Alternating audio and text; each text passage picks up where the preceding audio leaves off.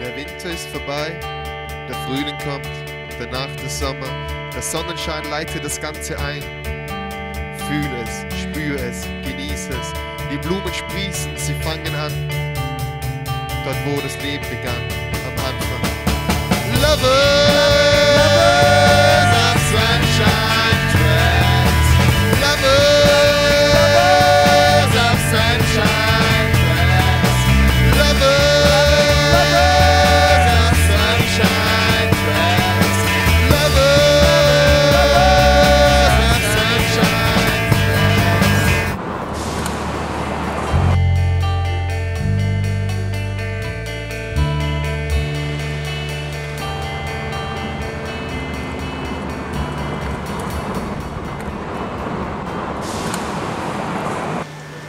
Vorteile sind vor allem die freie Zeiteinteilung. Äh, erstens in der, in der Tagesarbeitszeit und auch in, im Urlaub. Ich kann Urlaub nehmen, wann ich will und solange ich will.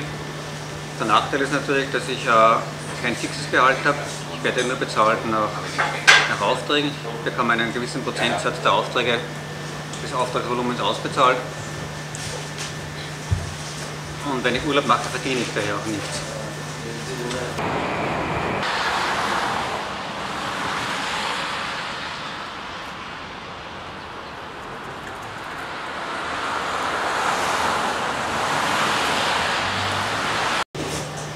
Wir sind zwar sozialversichert, aber wir, wir bekommen nur die Krankenhauskosten ersetzt oder Arztkosten ersetzt. Wir bekommen aber keinen Verdiensteingang, keine Gehaltsfortzahlung, das gibt es nicht. Wenn ich also einen schweren Unfall habe, einen Knochenbruch, der einen komplizierten, ich bin fünf, sechs Monate außer Gefecht, dann habe ich keinen Ersatz für die laufenden Kosten. Im letzten Jahr wurden mir zwei Räder gestohlen und mein anderes Rad wurde mir zweimal äh, kaputt gemacht. Die Räder sind Privateigentum, da wird von der Firma nichts gestellt. Äh, die muss ich selber bezahlen und den Schaden selber ersetzen, beziehungsweise selber versichern lassen.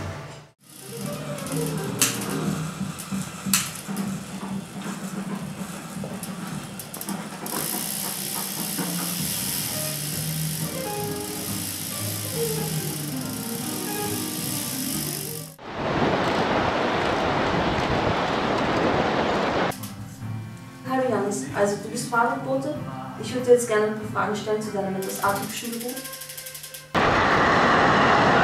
Das ist es für mich. Ich mache sowieso andere Sachen. Ich, tue fotografieren, ich bin Hausmeister. Ich habe schon noch vor, eine Zeit lang zu machen. Also ich habe jetzt keine, keine Alternative und ich habe auch nicht den Druck, dass ich, dass ich mir etwas anderes suche.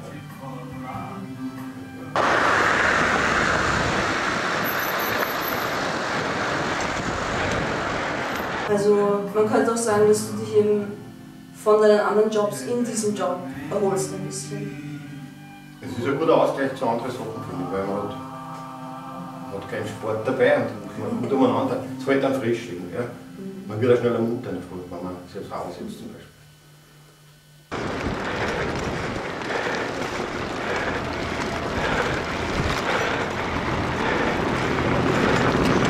Also am Anfang könnte man schon sagen, es ist eine gewisse Angst vor den Autos auch dabei. Ja, ja, schon. Also wenn, wenn, wenn was passiert, glaube ich, ist man eine Zeit lang mal ein bisschen geschreckter. Aber so konkret Unfälle mit Autos gab es noch nicht. Nein, habe ich immer rechtzeitig bremst.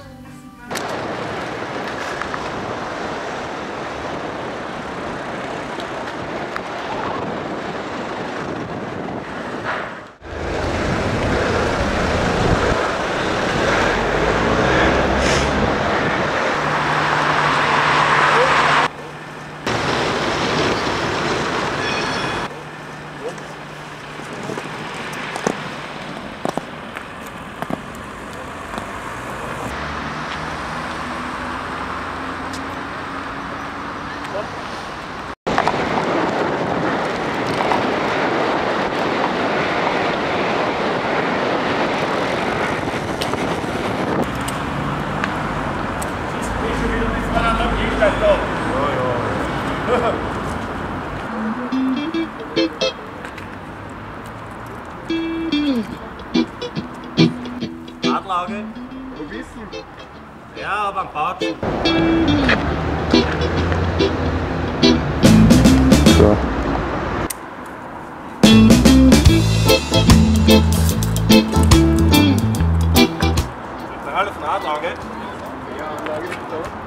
Anlage, reicht mir weiter.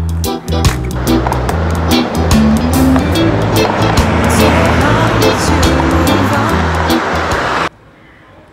bist ja gerade frei, aber normalerweise würdest, könnte man schon eher sagen, dass das ein stressiger Beruf ist. Wie gehst du denn mit dem Stress um? Stress, wie schreibt man das? Jana, gibst du mir die nochmal durch? Mhm. Ja. Ja. Wie weiter? Mhm. Ja, das Also später. Baba. Grüß Sie.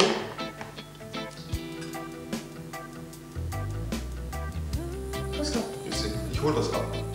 Achso, ja, Sie sind der Bote. Genau. Ja. Moment, ja, was habe ich noch im anderen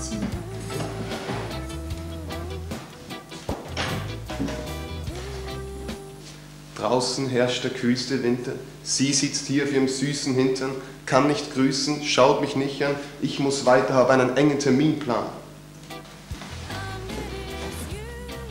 So, was wär's? Du bist eh nicht. Nein, das ist das erste. Okay,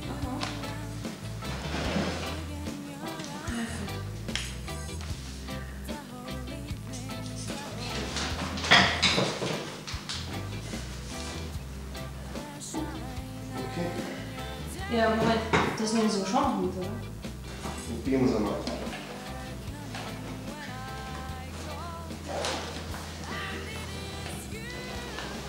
Ja, sieht sich genau aus. Na bitte. Haben Sie wahrscheinlich gewusst, ne? So. Dann einen schönen Tag. Wiederschauen. Wiederschauen.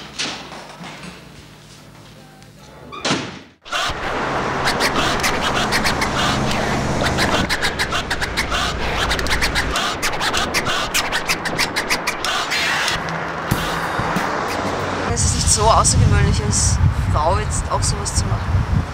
Ich habe überhaupt kein Problem damit. Also ich fühle mich nicht irgendwie jetzt extra gefordert. Oder als ob ich mich jetzt total beweisen müsste. Gut, ich meine, ich verstehe schon, wenn Leute sagen, sie wollen das nicht machen, weil es ihnen zu anstrengend ist oder so. Aber grundsätzlich würde ich sagen, das können ja Männer und Frauen sein. Also das ist nichts, was jetzt frauenspezifisch irgendwie Wenn ich Stress habe, dann trete ich ihn eigentlich weg. Also das funktioniert ganz gut, dass man sich den Stress so wegfährt.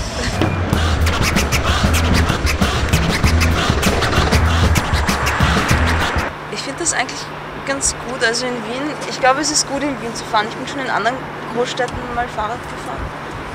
Und da habe ich mich teilweise schon gefürchtet. Also ich glaube, dass die Autofahrer hier schon aufpassen. Und es gibt auch viele Fahrradwege, was ich sehr gut finde. Was ich auch gut finde, ist, dass es für eine Großstadt schon relativ viel Natur gibt.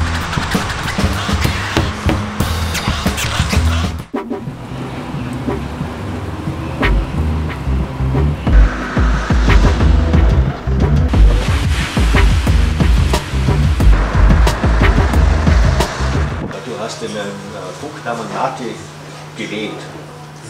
Was bedeutet für dich diese Identitätsänderung? Ja, das ist für mich gar keine Änderung. Das ist der Name, den ich seit ich drei bin immer höre. Also ich werde immer so genannt. Ich mag das.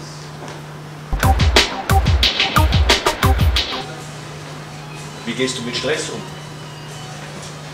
Ähm, Kaffee, Zigaretten.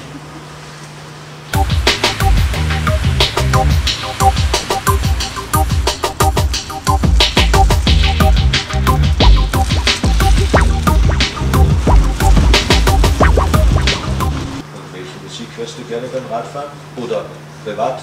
Privat höre ich gerne elektronische Musik beim Radfahren. Traue ich mich das nicht. Also es ist ähm, für mich die stärkste Ablenkung. So.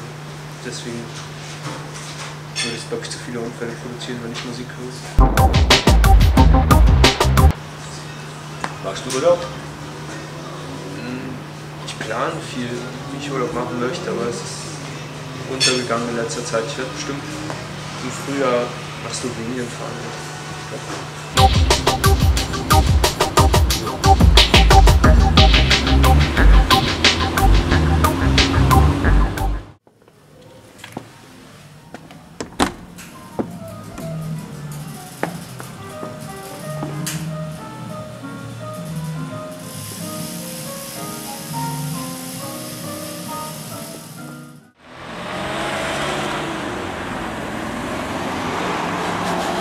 Pass auf, Random. Äh, jetzt kommen ein paar Interviewfragen auf dich zu. Es wird nämlich eine Dokumentation über Fahrradboten gemacht. Ja, hallo, wir wollen da ein paar Interviewfragen stellen. Zuerst mal, mit wem habe ich es überhaupt zu tun?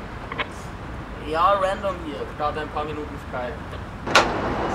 Gott, Steht die Adresse drauf, das muss im 15. Bezirk. wird dort bezahlt. Wird bei mir bezahlt, jetzt gleich. Okay, Das bar. müsst ihr, ja, bar. Das müsst ihr eh ausgeben bis um 5.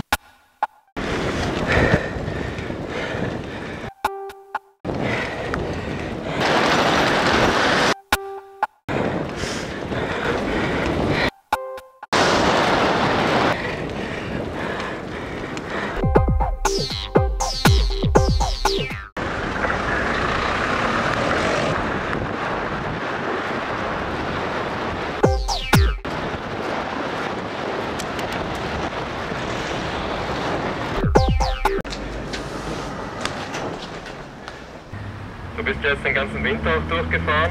Waren die Verhältnisse hart für dich? Ja, ein paar Mal schon, aber seit, man, seit ich Funktionsunterwäsche habe, geht es eigentlich besser, wesentlich besser. Wiedersehen. Kontrollierter Chef oder Wie bitte? Kontrollierter Chef oder Na, wir drehen so einen Kurzfilm übers Fahren. Und das ist so nebenbei während der Fahrt. Okay, vierte. Noch einmal löschen. Wenn du, wenn du das hörst, geht schon. Fortuna die dritte. Allerwege, wir sind beim vierten. Noch einmal. Geht schon. Das klingt ein bisschen blöd, weil das Ganze nach links kippt. Ja, ja. Ich hoffe, muss man irgendwann sollte das irgendwie ausgleichen. Mhm, mhm, mhm. Servus. Guten Tag. Na, wir machen diesen Kurzfilm. Ganz lieb. Fürs Making of.